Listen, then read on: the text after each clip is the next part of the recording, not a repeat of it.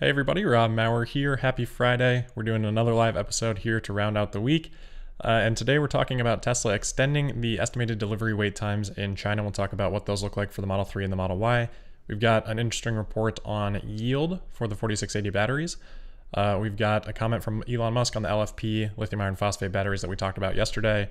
Rivian, some news on an IPO there, an update from Waymo.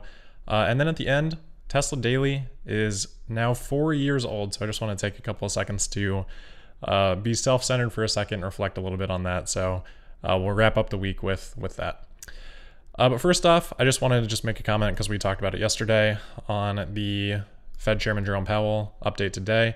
So here, um, as you can see in the markets today, obviously the Nasdaq and and Tesla have performed pretty well uh, despite the that meeting this morning. So there were some mixed comments, but the market does seem to be reacting relatively positively.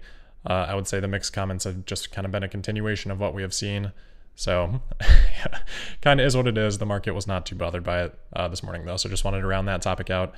Uh, getting into Tesla specific news, though. So, first thing here to talk about is wait times in China. So, we've been talking about this for I don't know, three or four months now. Uh, and the wait times have been pretty short, one to three weeks in general, have been the estimates across various trims for Model Y and Model 3. Uh, and today those have finally increased a bit. So the Model 3 now sits at an estimated delivery of four to six weeks for the standard range. And then the performance also showing four to six weeks. And then for the Model Y, uh, we're actually seeing six to 10 weeks on the standard range. So previously that had just said deliveries begin in August. Obviously, we talked yesterday about how those have started. Um, but yeah, now we're seeing an actual estimated delivery time of six to 10 weeks for, for that version. Uh, the long range version, it says estimated delivery date fourth quarter. So I think we're about five weeks out from the start of fourth quarter now. Um, and obviously that could run all the way through, you know, 18 weeks essentially. So we've got um, a pretty wide range there on the long range Model Y. And then for performance, it says delivery is expected to begin in the third quarter. So kind of all over the place here, but the important thing is that, at least to me, is that these wait times are now showing a little bit longer. Obviously, part of that, a big part of that is being driven by Tesla choosing to export more vehicles. So it doesn't necessarily tell us a whole lot about the situation directly domestically in China. Um, but I'd rather see these longer wait times knowing the export situation than still having really short wait times, also knowing the export situation. So I'm happy to see that. Um, those wait times increasing in China. Obviously, you know, the more the production can catch up with that, the better. But uh, Tesla seeming to be pretty con- production constrained uh, worldwide right now.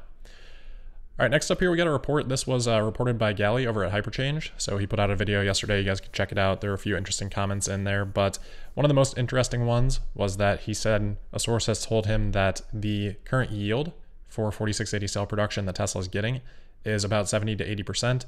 So basically, 30 to 20%, 20 to 30% of the batteries that they produce, uh, they're not actually able to utilize. Those can just be recycled and um, hopefully go right back in and actually get a an actual 4680 cell that is functional um, after that process. But obviously, that's more costly, takes more time, etc. So looks like about 78%. I've seen reports that in general, Tesla's yield, let's say out of Giga Nevada for the 2170s, somewhere around like 95%. Uh, so definitely some catching up here to do, but getting to the point where it might start to be, you know, feasible for Tesla to actually start scaling this up. Um, and then obviously they talked on the Q2 call about just some of the challenges in the engineering that needs to be solved to make sure that you know the equipment can produce enough of these regardless of the yield. Uh, you don't want the equipment to actually break down. So still challenges. Sounds like Gali was saying they're still probably about six months out. Obviously that timeline uh, can change. We heard Elon previously say 12 to 18 months for volume production. I think that was back in April. Um, so it's still going to be some time, but it looks like progress is being made, which is good. Next here, just a continuation of a comment from yesterday. So we talked about the lithium iron phosphate going into the standard range Model 3s in the United States. Elon here just replying to a tweet about that saying, quote, Our intent with this pack is that product experience is roughly equivalent between nickel and iron. I'd personally slightly opt for iron pack as it wants to be charged to 100%, whereas nickel prefers about 90%, end quote. So this is something I just meant to I meant to mention yesterday. Um, we've talked about it in the past, but Tesla recommends, or I guess doesn't not recommend, uh, charging to 100% like on a daily basis, like they do for the um, the nickel-based packs. So just in terms of the degradation that that causes, it's less impactful for lithium iron phosphate. Uh, so even though the range is a bit lower at 253 versus 263 for the nickel-based pack in the standard range Model 3, it's not as crippling because you're able to charge to 100% uh, more frequently. That said, you know, I don't know that it really makes a ton of difference because the amount of times that you want to charge to 100%, I think, are pretty rare. So, because they're pretty rare, it shouldn't actually hurt your nickel based pack too much to do that when you need to. So, personally, I'd still probably opt for the nickel pack, but um, I think they're both, you know, pretty viable. So that was kind of most of the Tesla stuff today. Uh, relatively light news day, and we are recording a little bit earlier today just because I have uh, some some event tonight that I have to go to. Um, but in terms of non-Tesla specific stuff, so we got news today that Rivian has filed for an IPO. Bloomberg reporting this, and they're apparently looking for a valuation of around 80 billion. I think last reports were that they raised at around you know 27 and a half billion post money valuation. So I think you know, this would be a, a big spike in their valuation. I was expecting them to IPO maybe more around 50. Uh, so this was surprisingly high to me. Not necessarily all that surprising, I guess, given the context of, of the market in general um, and valuations for companies like Lucid and things like that. So uh, still a pretty staggeringly high number for a company with, you know, no revenue at this point. Um, obviously a, a big backlog of orders, but comes down to if they can produce and deliver those and uh, continue growing over time. So we'll see. I probably wouldn't be in the, at that valuation. You know, who knows? Things could change, but I would rather rather have my money in Tesla at you know 700 billion or whatever than uh, Rivian at 80. All right, next up here, so just a quick update on Waymo. Um, I think this was reported originally by Reuters, uh, but Waymo will stop selling its self-driving lidar sensors to other companies. So originally, Waymo had had the thought of okay, we can lower the cost of producing LiDAR if we're able to leverage our production and sell that to other companies. Uh, they went down that path a couple years back, and already now they're they're changing course. Obviously, there have been changes in management at Waymo, so not necessarily super surprising to see a change in course. But um, yeah, I mean, Elon has said, you know, eventually all these companies are going to drop lidar, and that's not what this is. Very specifically, that's not this, but um, maybe just a slight step in that direction. Obviously, LiDAR has other use cases, so it's not, I wouldn't make an overarching blanket statement right that, but interesting to see um, nonetheless. So I think those were uh, the main things here. Um, and then, as I said at the opening, so we're actually a week a week past this, but last week, August 20th, Tesla Daily turned four years old. So four year anniversary of the first Tesla Daily podcast. I feel like someday we should just sit down and do a live stream and listen to all, to that first episode together. It's changed a lot, um, but hopefully the original premise of just trying to get more good information out to more people has stayed the same. That's really been you know my guiding principle since the start. Um, so I started it four years ago. Two years ago, took it full time with just the help of you know tremendous listeners uh, supporting on Patreon and um, sharing the content and things like that. I'm just so lucky to have the audience that I have here that has enabled that. And as I've always said, you know, I'm trying to use this as a base to build something more. Um, I love doing Tesla daily, but at the same time, like I don't want to just necessarily sit here and, and create YouTube videos every single day for for the rest of forever. And hopefully you guys want me to do more than that too. So um, yeah, this was just the original post that I wrote back when I uh, decided to quit my job uh, that I'd been in seven years uh, to focus on you know Tesla Daily and hopefully growing this into something more. Um, as I said at that time, the goal was to make this more consistent. So over the last year, um, I've done. I checked my YouTube numbers and I was actually surprised by this. I've done 268 videos over the last year. There are about 260 weekdays in the year, so I'm actually overproducing. Not counting weekends, obviously. Um, but I'm really happy with the consistency that I've been able to to bring.